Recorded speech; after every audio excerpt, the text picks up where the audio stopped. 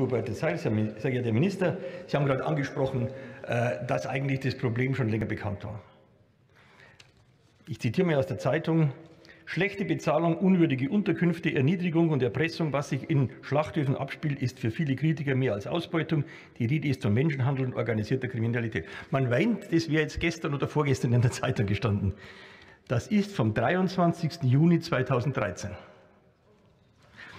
Ja, damals habe ich eine Rede gehalten dazu, deswegen habe ich mich auch jetzt zu einer Bemerkung und zu einer Frage gemeldet und ich habe damals eine Anfrage an die Bundesregierung gestellt, da habe ich eine Antwort und Sie haben damals nicht regiert, sondern das war die FDP und der Koalitionspartner, den Sie jetzt haben.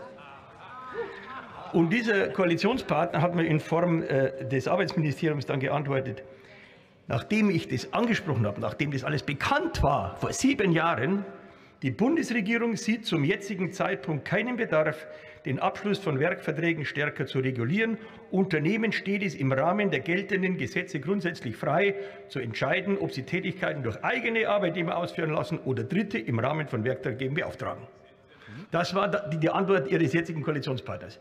Sind Sie mit mir der Auffassung, Kollege Heil, dass wenn Ihr jetziger Koalitionspartner und die FDP, die damals mitregiert hat und jetzt teilweise eine große Lippe riskiert, wenn die damals schon gehandelt hätten, wenn die damals schon so weit gewesen, gewesen wären wie Sie heute und Herr Laumann heute, Gott sei Dank, dass Sie das Werksvertragsunwesen einschränken wollen, sind Sie mit mir der Auffassung, dass dann das, was jetzt in der Fleischindustrie passiert, nicht mehr hätte passieren können, wenn man das früher geregelt hätte?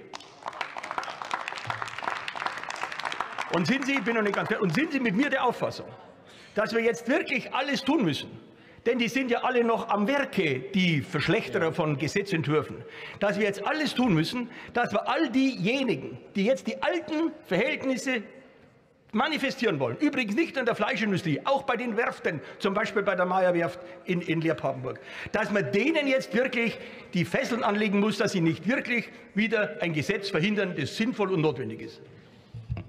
Lieber Kollege Ernst, angesichts der Katastrophe, und ich sage Katastrophe, die wir gerade erleben, die der Kollege Laumann beschrieben hat, dass aus einem System der organisierten Verantwortungslosigkeit zur Ausbeutung von Menschen inzwischen sogar ein allgemeines Gesundheitsrisiko für die Bevölkerung geworden ist. Und der Tatsache, dass ganze Landkreise wieder in den Lockdown mussten, weil sich welche nicht an die Regeln halten, widerstehe ich in diesem Zusammenhang mal der kleinkarierten Betrachtung, wer mal wo was gesehen hat. Ich kann nur allgemein feststellen, dass es leider Gottes manchmal Katastrophen bedarf, dass Menschen dazulernen. Das war zum Beispiel beim Atomausstieg bei einigen so, die früher was anderes gesehen haben. Wichtig ist, dass dieses Parlament jetzt gemeinschaftlich handelt. Und dafür stehe ich in der Verantwortung heute.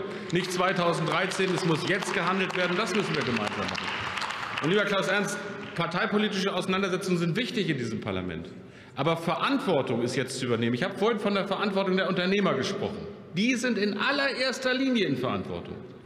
Die Verantwortung der Länder, und zwar egal wie sie regiert ist, sind schwarz, Rot, Grün, ich gucke mal nach Baden-Württemberg, daher wünsche ich mir auch schärfere Arbeitsschutzkontrollen. Das, was die Kollegin Mast in Pforzheim erlebt hat, ist nicht in Ordnung. Das war weit vor Tönnies übrigens.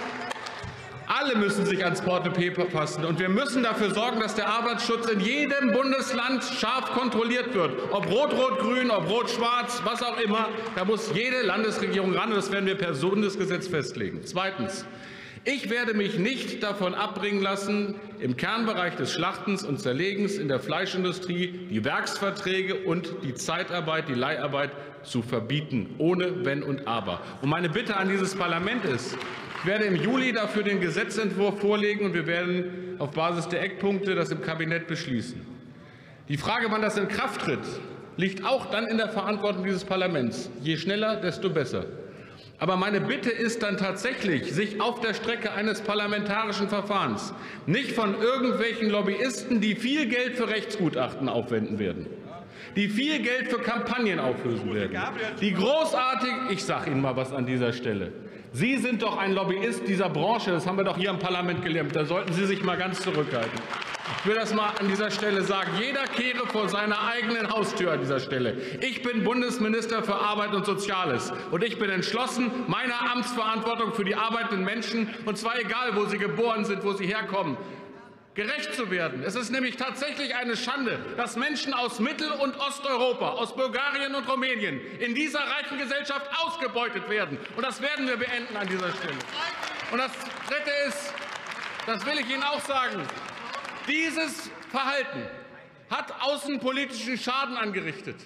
Ich werde im August nach Rumänien fahren, weil mich die Arbeitsministerin aus Rumänien gebeten hat. Sie ist hergekommen, die ist mit dem Auto von Bukarest nach Berlin gefahren. Und das ist ein großes innenpolitisches Thema. Ich sage noch einmal, egal wo Menschen herkommen, die bei uns arbeiten, sie haben die gleichen Rechte, übrigens auch den gleichen Lohn verdient und vor allem den gleichen Gesundheitsschutz. Das ist keine Frage der Nationalität, das ist eine Frage des Anstands. Und dafür interessieren Sie sich gar nicht, das wissen wir doch.